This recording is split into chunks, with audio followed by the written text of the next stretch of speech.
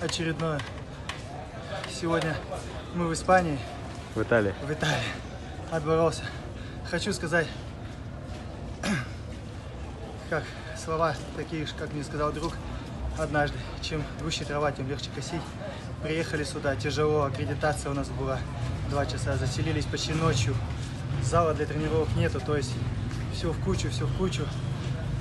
И очень было тяжело, но очень приятно, что сегодня я в форме и победил опять очередной раз. Надеюсь, это будет на пользу. Хочу поблагодарить друзей, которые помогают.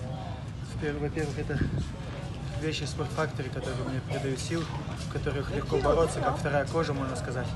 Спасибо большое, друзья, за помощь. И еще хотел поблагодарить тренера молодежной сборной Николая Алексеевича Монова за тот сбор, за тот опыт, который я получил.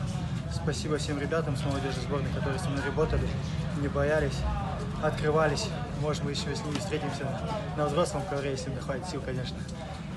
Вот, спасибо большое молодежной сборной. Этот сбор не прошел даром.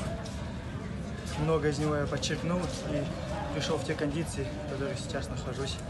Так что спасибо большое, будем трудиться. Ждите дальнейших 快点，不行。